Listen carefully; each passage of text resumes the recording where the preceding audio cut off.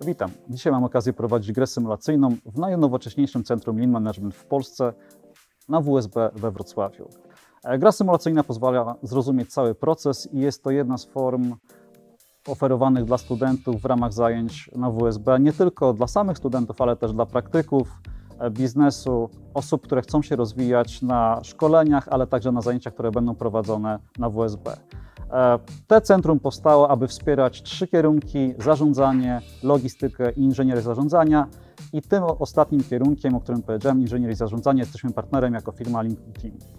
E, zapraszam serdecznie, gdyż w mojej opinii jest to najlepsza forma praktyki, jaką można zobaczyć w ramach Lean Management. Mówię to jako osoba z ponad 10-letnim doświadczeniem, jako project manager, konsultant biznesowy zajmujący się Leanem w całej Polsce.